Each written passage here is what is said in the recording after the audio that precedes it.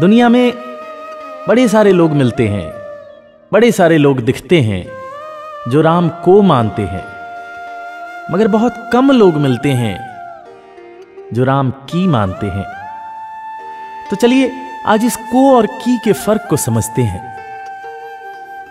इस को और की के बीच एक बारीक सी रेखा है, जैसे आत्मविश्वास और अहंकार के बीच में है। मैं ये कर सकता हूँ। ये आत्मविश्वास है। और सिर्फ़ मैं ही ये कर सकता हूँ। ये अहंकार है। ठीक उसी तरह राम को मानने में और राम की मानने में मामूली सा अंतर है। मगर उस मामूली से अंतर की वजह से बड़े बड़े परिणाम सामने आते हैं। जैसे जो राम की मानने वाले हैं उनका अपने भाई के साथ कभी कोई विवाद हो ही नहीं सकता। किसी तरह का कोई विवाद, मनभेद तो बहुत दूर की बात है। मतभेद भी नहीं हो सकता। क्योंकि आप देखें, जिस पोजीशन के लिए, जिस कुर्सी के लिए, जिस पैसे के लिए भाई भाई से अलग होते हैं। और कितनी बार तो भाई अपने भाई की जान तक ले लेते हैं। अयोध्या में वही कुर्सी दो भाइयों के बीच फुटबॉल की तरह उछलती रही। पहला दूसरे को पास करता रहा, दूसरा पहले को पास करता रहा।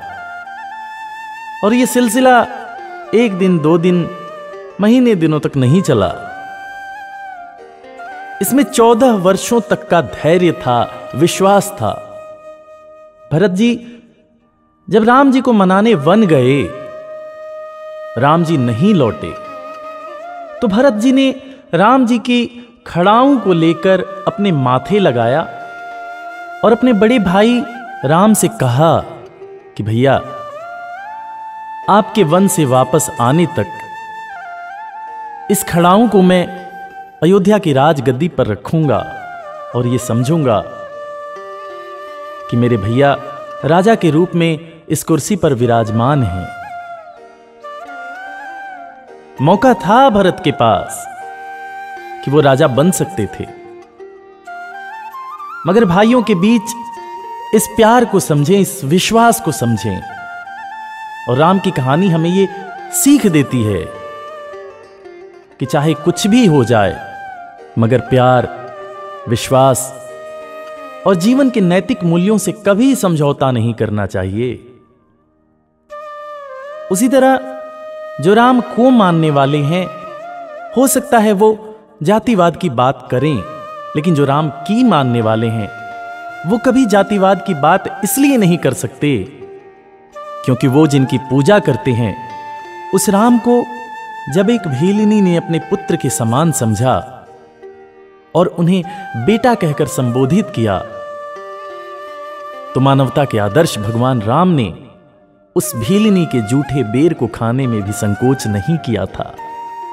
और किसी कवि ने क्या खूब लिखा है कि निर्मल मन हो तो रघुनायक शबरी के घर आते, श्याम सूर की बाह पकड़ते, साग विदुर घर खाते।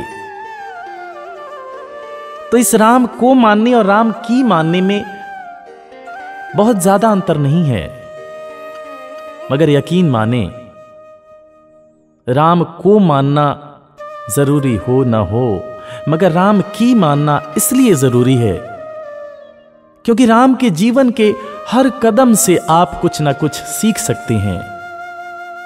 राम की मानने वाला जीवन में कभी अपने नैतिक मूल्यों से समझौता नहीं कर सकता।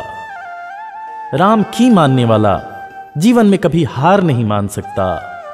राम की मानने वाला जीवन में कभी किसी को नुकसान नहीं पहुँचा सकता। राम की मानने वाला जीवन में कभी निराशावादी नहीं हो सकता। क्योंकि राम के जीवन में चाहे जितनी भी कठिनाइयाँ आईं, पहाड़ के समान विशाल चुनौतियाँ आईं, मगर राम निराश नहीं हुए। राम ने हर समस्या का समाधान ढूंढा, नामुमकिन को मुमकिन किया, और इसीलिए मैं अपने गुरुदेव की बातों से सहमत हूँ, जो ये कहते हैं कि राम को मानो या न मानो, राम की ज़रूर मानो। जय सिया राम।